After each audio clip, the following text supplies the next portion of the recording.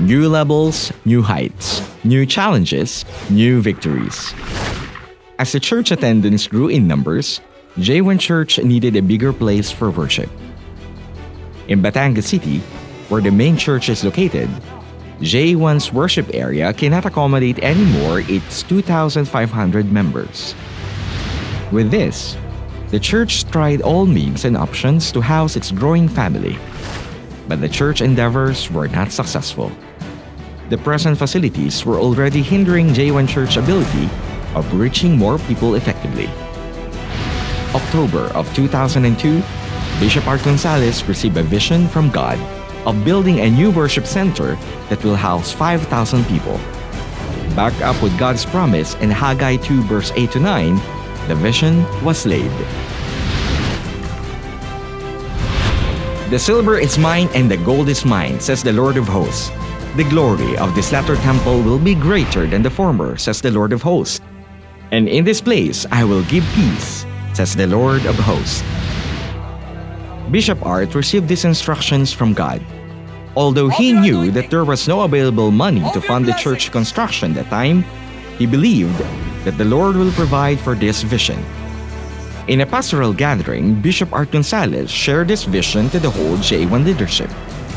Surprisingly, in a matter of two hours, the leadership was able to gather 900,000 pesos worth of pledges for the initial funding of the church building. September 14, 2004, by the grace of God, the foundation of the JA1 Mega Sanctuary was laid. But it was not without struggle. For eight years, the church construction became slow.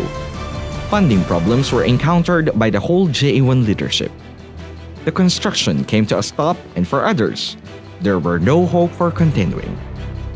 It was a hard ordeal. But behind all of these, Bishop Art Gonzalez knew that God is doing something. God had a greater plan.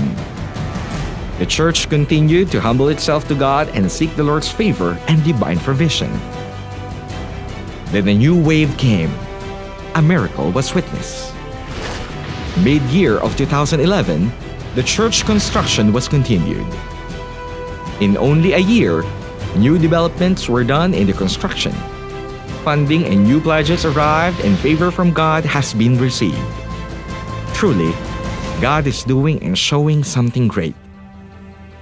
Today, the construction of the worship area is nearing to the finish line. Offices in the first, second, and third, fourth areas are also coming to the finish. The fifth, sixth, and seventh levels are now to follow.